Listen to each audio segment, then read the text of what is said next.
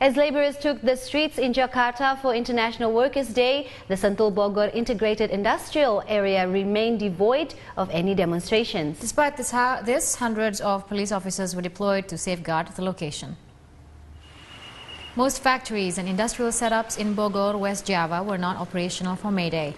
Many factories in Bogor, opted to close down in anticipation of workers being forced to join rallies. Most workers chose to take the day off while others joined their peers to protest in central Jakarta.